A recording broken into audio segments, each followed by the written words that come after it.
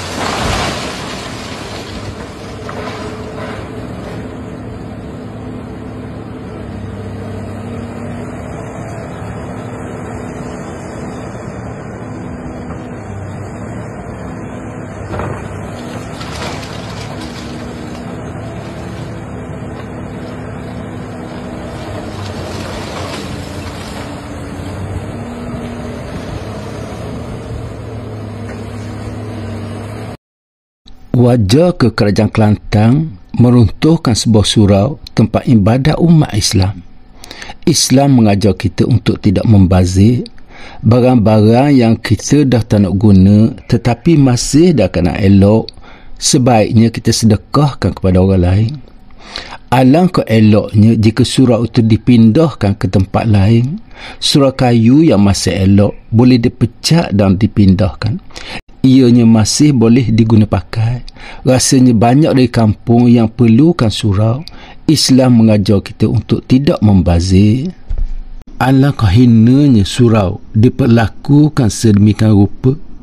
Sepatut kita muliakan surau tempat ibadat umat Islam.